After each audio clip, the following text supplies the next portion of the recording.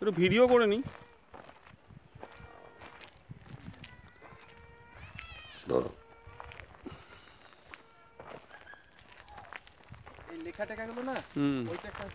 ইয়ে তুলবো?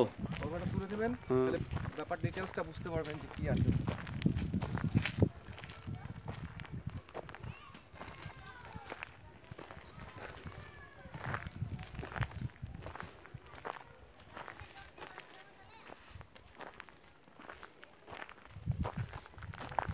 ফসিল?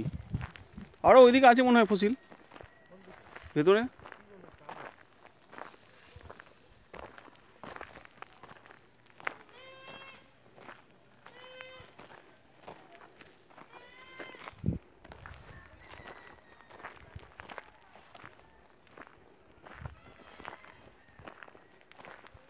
এই তো তলা সব পড়ে আছে।